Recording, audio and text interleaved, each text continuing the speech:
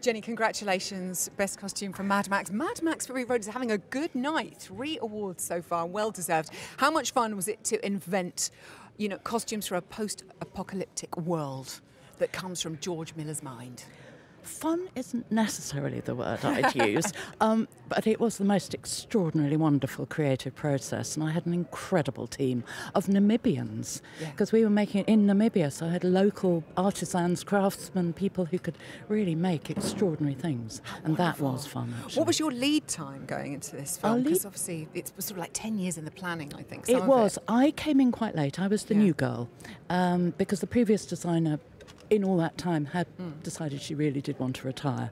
So they looked for a new designer. I'm so thrilled. Um, you know, it, it was me. And how, I, I mean, I was fascinated when you sort of look at the extremes that some of the characters are sort of dealing with, the sort of speed and the dust, and how, how difficult is it to match the look with practicality? That the conditions? Was very much, and safety was high in our minds. So there's huge amounts. Of the costumes have harness built into them or harnesses disguised.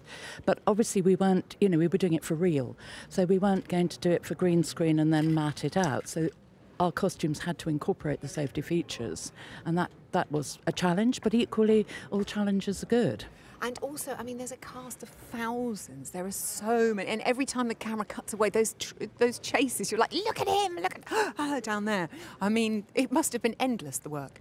It was actually. We just kept churning it out, churning it out. I mean, in, in a good way, but um, yes, it, it was an enormous job in pretty tricky circumstances because they're not very film. They've made the odd film in Namibia, but they're not very film savvy down there. So yeah, it was pretty good for everybody. Just going back to basics. Have you kept any mementos, any souvenirs? I tend not to. I'm not really. The only thing I want out of a film is the final result, and of course, I, I do have the DVD. But you know, I know I don't really keep anything. Okay. Um, well, you've got this to keep tonight. And now I have that, which have. is fantastic. Congratulations, Jenny, and to all of your team. It must Thank be you. huge. Well done. Enjoy Thank your night. You very much. And the BAFTA goes to The Revenant.